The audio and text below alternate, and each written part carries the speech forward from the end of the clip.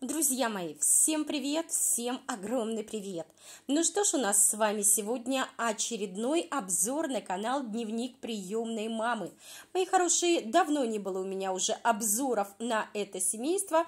Ну что ж, и сегодня прям, вы знаете, захотелось, так скажем, в целом поговорить об этой семье, о последних роликах, которые нам рекламировало данное семейство. Вы знаете, вот честно, я смотрю их ролики, смотрю на постоянной основе, да, и а, порой бывает так, что читаю комментарии на их канале, и я, собственно, согласна с теми людьми, которые возмущаются по поводу того, что последнее время контент а, приемных родителей заходит немножко куда-то не туда. Я бы сказала, не в то русло, да? То есть а, дневник приемной мамы. Здесь говорится о том, что ты, как приемная мать, а, в данном случае показываешь жизнь вашей приемной семьи, соответственно, ваших детей детей. Но последнее время, вы знаете, нет. Детей показывают так только в качестве массовки.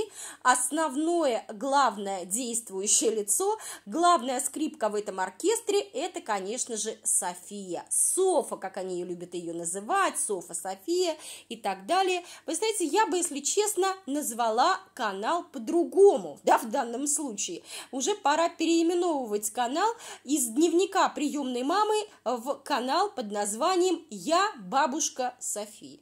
Ну, правда, это было бы более, более уже, так скажем, правдоподобно, потому что показывают одну сплошную Софию. София села, София встала, София взмахнула рукой, Софа, Софа, ути моя божечки ты мой, ути мой там туда-сюда, у ты красивая девочка. Ну, Настю, понятное дело, то же самое, да, но в любом случае. То есть девчонок словно не существует. Складывается такое ощущение, словно девочек остальных остальных вообще нет, только одна Софа.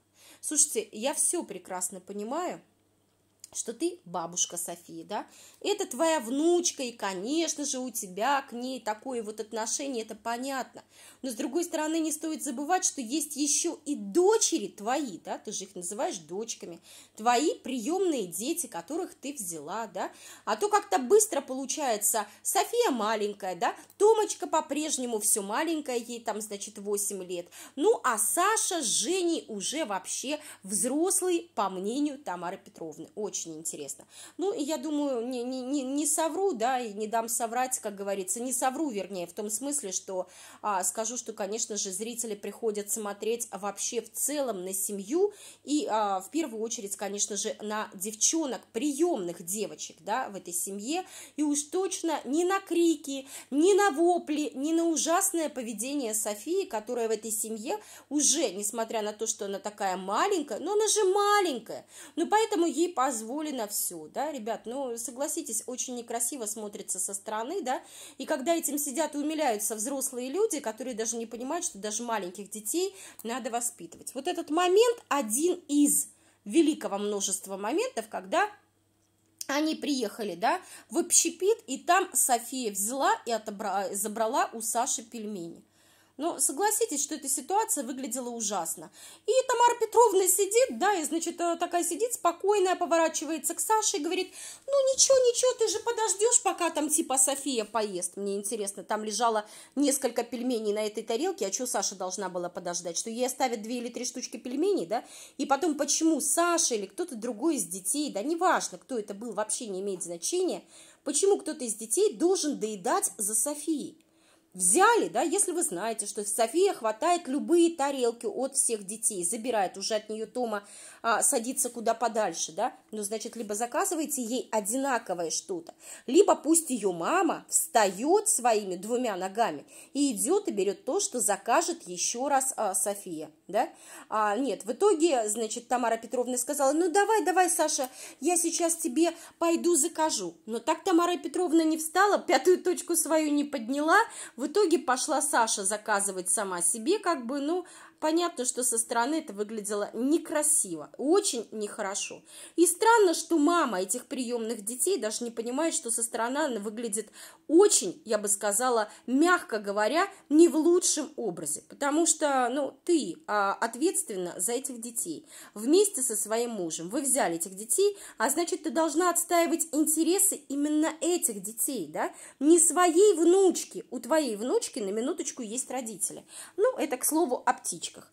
Далее, друзья мои, как мне нравятся моменты, когда Тамара Петровна всякий раз сидя с девчонками перед школой, с утра пораньше говорит, вот, ничего не хотят есть, вот ничего не хотят есть, ну давайте, давайте я вам вот то вот поставлю, а давайте вот это. Ну, девчонки прекрасно понимают, что они уже, скорее всего, опаздывают, да, они говорят, нет, нам ничего не надо, вот готовы есть только одни сладости. Опять же, тут же напрашивается вопрос, а ты, собственно, для чего? А ты что, не в состоянии как-то а, поговорить с девчонками, да, что не надо наедаться с утра одними сладостями? Хотя, ребят, в моем понимании, если бы у нее уже был накрыт стол, да, то есть вот, пожалуйста, девочки там привели себя в порядок, пошли, умылись, да, пришли завтракать, и у тебя на столе уже стоит завтрак. Я уверена, что девчонки бы сели бы нормально и позавтракали. Но когда на столе шаром покатить, то, понятное дело, девочка мальчикам ничего не остается, кроме как хватать какие-нибудь молочные ломтики или какие-нибудь шоколадки и печенюшки и, собственно, вот этим, как говорится, завтракать. Почему-то мы с вами наблюдаем другую картину, когда девчонки вместе с родителями попадают куда-нибудь в фастфуд, в общепит, да, и так далее. Почему-то они едят абсолютно все. И вот только дома у Тамары Петровны они абсолютно ничего есть не хотят. Но как только проводив школьников, да, а, так скажем, за ворота, да, в школу, Тут же у них с мужем, с Василием докрывается самая настоящая поляна, скатерть-самобранка, и они усаживаются, довольные есть по полной программе. Еще один момент, ребят, который меня очень знатно веселит. Вот вы знаете, вот честно, насколько со стороны это смотрится, конечно, просто жесть, просто нечто. Когда Тамара Петровна бегает специально с камерой за всеми, дабы показать склоки и скандалы в их семействе.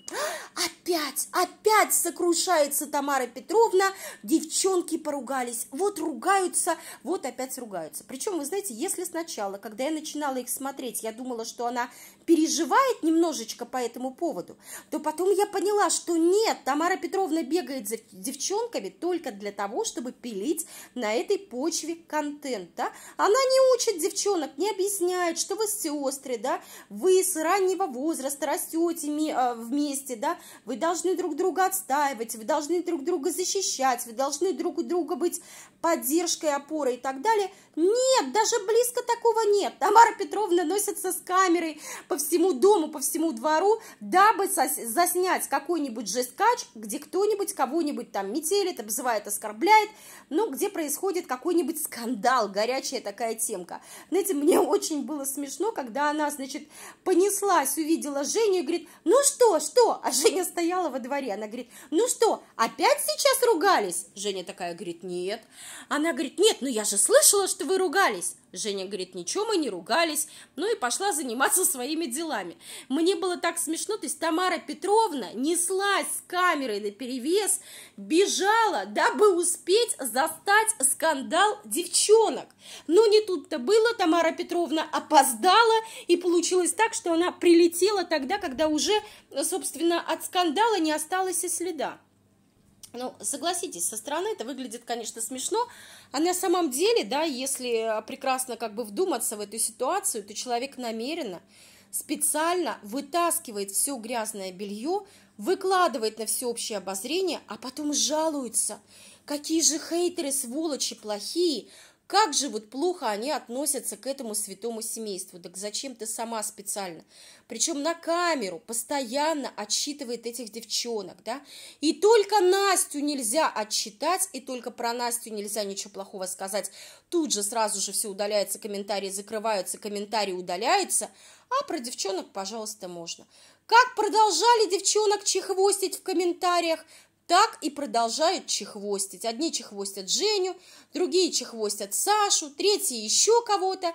И Тамара Петровна все эти комментарии благополучно пропускает, хотя могла бы давным-давно уже расставить точки над «и» и сказать, что я, да, у нас э, канал «Дневник приемной мамы», да, я показываю нашу жизнь. Но я не разрешаю оскорблять моих детей. Это мои дети – и это э, я их мать и так далее. Могла она так сказать? Ребята, да, конечно, могла. Да, естественно, могла, если бы хотела. Но для нее опять все эти склоки, скандалы и так далее – это большие просмотры, больший контент, а соответственно больше денежки. Поэтому Тамара Петровна и носится по дому а, как раз-таки с тем, чтобы заснять все скандалы, все вот эти вот моменты и весь этот негатив благополучно собрать себе. А потом правильно, а потом получается, что кругом виноваты абсолютно все. Поэтому Тамара Петровне некогда заниматься своими домашними делами, да, ой, я устала, ой, я устаю, ой, туда, ой, сюда – в общем, друзья мои, вот такой у меня получился обзор. Пишите, что вы думаете по этому поводу. Оставляйте свои комментарии. Всех целую, всем пока.